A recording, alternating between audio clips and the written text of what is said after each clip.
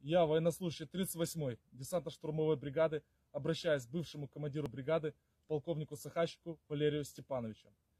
В наше время информационного поноса многих помутнело в головах. У каждого своя черта порога. Что хорошо, что плохо. И грань добра и зла. Сейчас на Украине герои те, кто сжег людей живьем в Хатыне.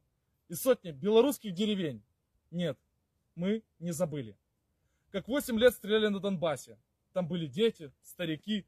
13 тысяч расстреляли и реки крови пролили.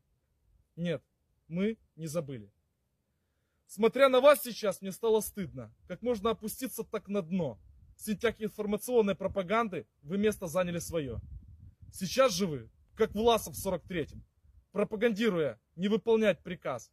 Нет, не геройство, преступление. Так подло обращаться к матерям солдат. У меня один вопрос. Предатель. Кому же вы на верность присягали? Какой монетой? Сколько стоит? Предать тельняшку и берет. За сколько вы, пененцев польских, продали доблесть, мастерство и честь? Товарищ бывший гвардии полковник. Здесь вас забыли. Вас здесь не помнят. Мы говорим вам, прощайте навсегда. Не братишки нам, предатели. Вы перешли черту порога, что хорошо, что плохо, и грань добра и зла. Ну что ж, Бог вам судья. Сейчас над нами небо чисто. Я обращаюсь к матерям. Не верьте им, пропагандистам, врунам, предателям и подлецам.